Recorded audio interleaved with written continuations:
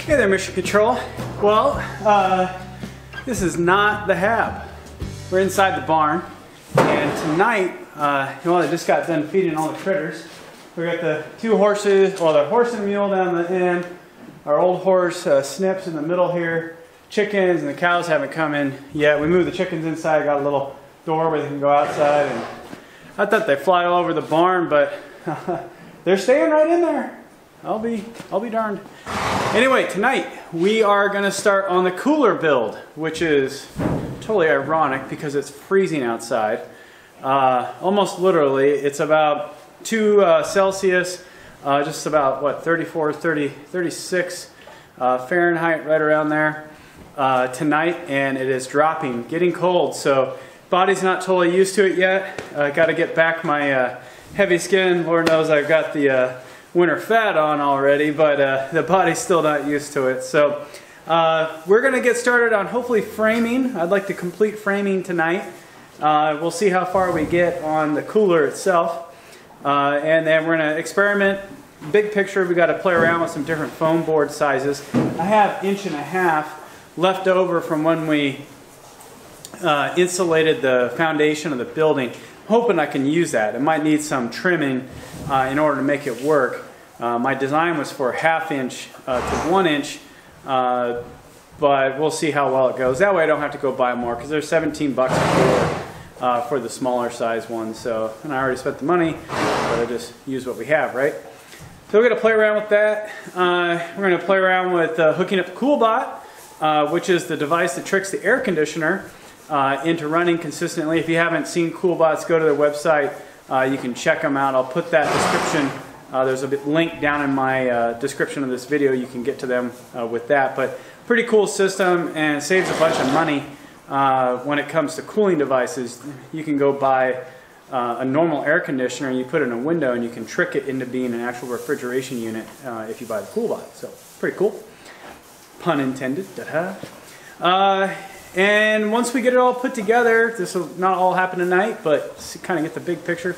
Once we get it all put back together or put together for the first time, we'll actually do some electrical testing with it, make sure everything works. we'll get all the hinges, all the doors put in place.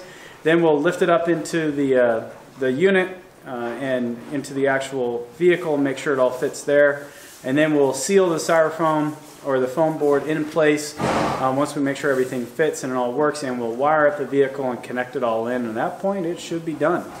So uh, that's really big picture. My hands are freezing. I'm going to need to get some working gloves. Uh, I always have a hard time finding good gloves that let your fingertips out. You can get good gloves that let your fingertips out, but they're the fuzzy, kind of like, you know, not really working gloves. I can't think of a good disparaging term to call them right now, but essentially they're not very manly. Um, and they tear really easy. They're nice and warm, but they don't really let you do real work. Uh, or you get kind of the uh, cut off fingers, kind of kind of rough, uh, but really don't keep your hands warm. At least I haven't found any. So I'm curious to know if you guys know of a good set of working gloves that expose the fingers probably at least the thumb and the index, but I'd prefer like at least these three so you can touch. Um, you guys have a lot of experience out there, so let me know. But yeah, uh, hard to work when your hands are cold, and you can tell with me as they start turning purple and pink that uh, things aren't working as well as they should. so we're gonna get started here. Got some boxes. Gonna unbox stuff, see what we got, and uh, we got CAD. We've got our 3D model here. This is the cube that we got to build. Check that out. Uh, you can go back in time and see some of the videos where we actually built this thing and went over it so you can uh, go see more of the details. Just click on videos up at the top of the um, screen there and you can actually uh, get to them or go back to my home page and you can see the whole list. This is what we got to build. Let's get started.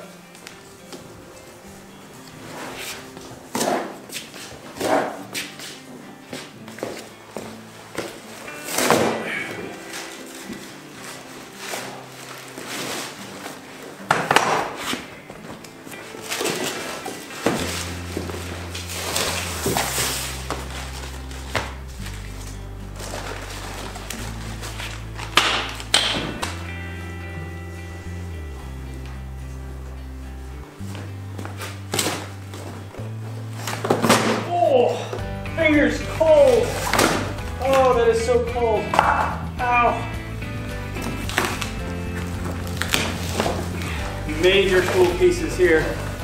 This is the guard. Goes between the driver and the cube. I guess I'll call it the cube. The fridge, the cube. Cube is a little more Martian sounding.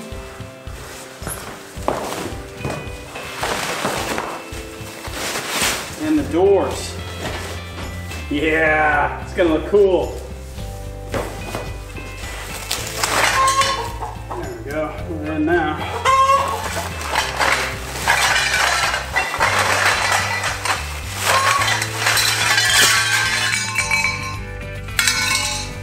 Well, I got a lot to sort through here.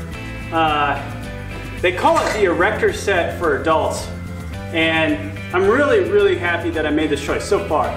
Um, designed it in CAD, had my measurements, went on their website, ordered everything, precision cut. Uh, all came packaged very nicely, very safe. Nothing looked bent or hurt other than what I've done to it. Uh, and the time that I think this will save is significant. So we're gonna see, but no welding. Uh, what we have are the joints and stuff we're gonna put together like an erector set. So I'm gonna get this all laid out, see all the parts that we got, get them all kind of grouped together so I know what's what. And uh, we'll get started in assembly. I got everything laid out in pretty close to the right positions. You can kind of start seeing it take shape here. This is the front of the vehicle. This is the back of the vehicle. This will be the main storage area here. These are the horizontal cross members on each side. You have uh, horizontal cross members for the back, verticals, verticals. This will be the area where the air conditioner goes and then that storage space there. There'll be a door there and a door in the back. So let's start seeing if we can uh, build this thing up. So, first piece, rubber mallet.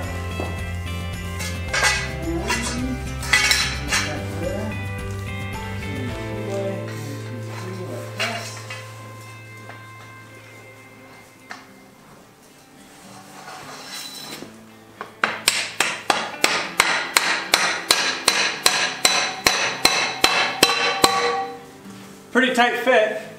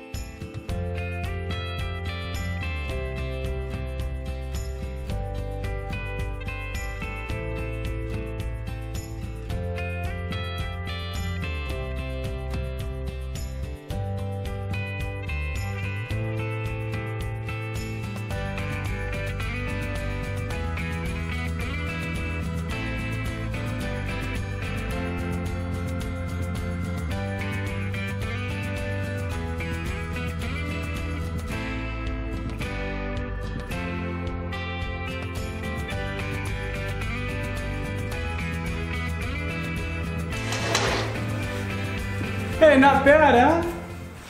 It took me just a little over an hour to put it all together. Uh, most of the time I spent just trying to remember what I did. Sorry, it's just a little bit off. If I would have just went and got my computer and then measured each piece, I would have had it. But uh, instead I went by memory and uh, made a few mistakes. The good news is, is if you do make a mistake, it's easy to kind of get it apart, put it back together again. I'm guessing you probably don't want to do that too many times before you have to start using screws to really hold it in there. But aluminum, pretty light, easy to move around. Not a huge amount of weight that's going to go in the back of the rig, which is important. Ah, so this is where the air conditioner goes. It slides in there. I think I may have made a mistake here on how I put it all together. Uh, we'll see on that.